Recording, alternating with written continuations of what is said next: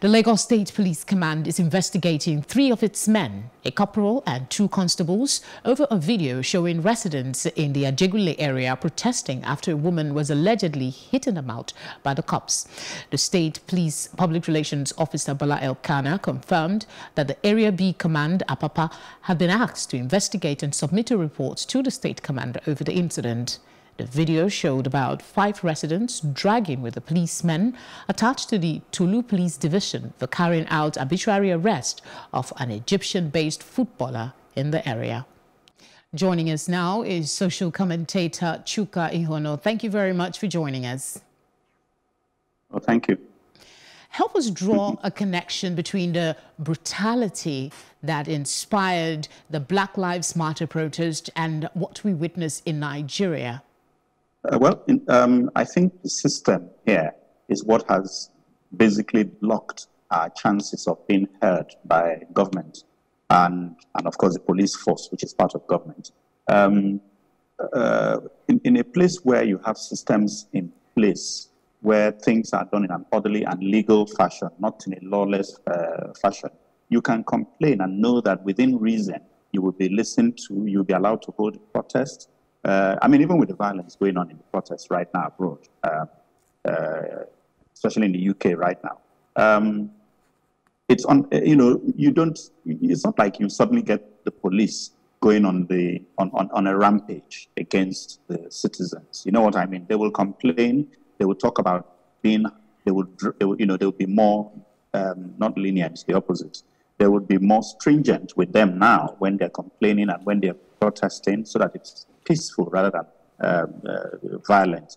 But here in Nigeria, I mean, if you so much as protest, they'll send out the boys to stop you and stop you with violence, which is what you're complaining about.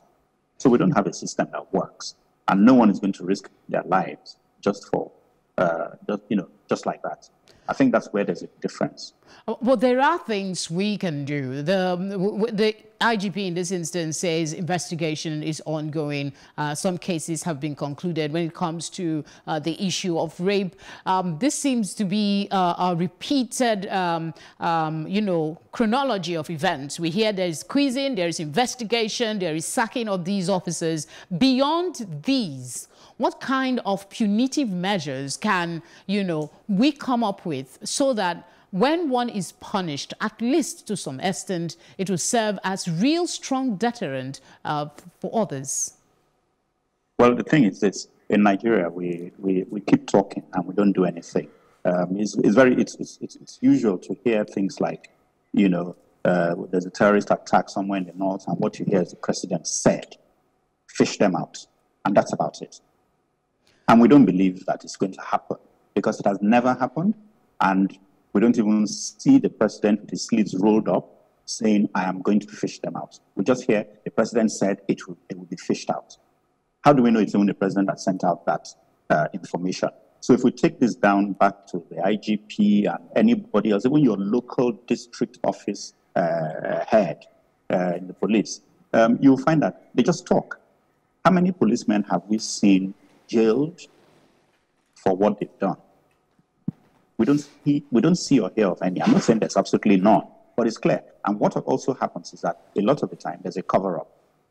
I mean, look right. at the matter in Ajegunle, and they're saying that, oh, it's a cultist's den and it's a notorious area. What kind of nonsense is that for? I'm afraid that's the much uh, time will allow us um, for this conversation. Thank you so much. We hope to have you uh, subsequently on the news. Okay, thank you.